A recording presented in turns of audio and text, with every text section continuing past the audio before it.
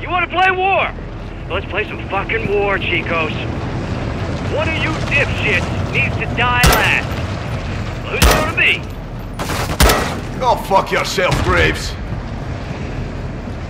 You got a healthy disrespect for authorities, so I like that about you. You're Shepard's lapdog.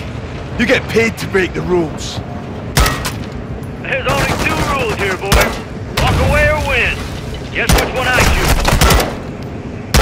Should have gone home when you had the chance, though. You and that asshole with the mask? Hide behind that uniform? Look around, Sergeant. There should be some C4. Find it. You wore that uniform. That uniform was a limitation. I shed that skin. Like a fucking snake. Like a fucking soldier, son. You had to make your own little army. Because you couldn't hack it in the real one.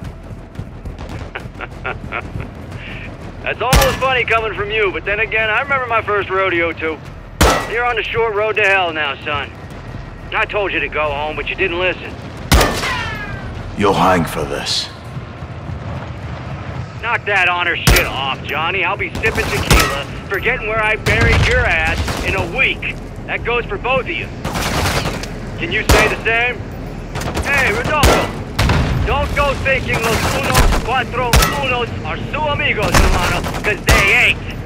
Helios no le guste usted. Look around, Sergeant. There should be some C4. Find it. Cuando este es cumplido, los amigos will drop los bloqueos like a bad fucking ass.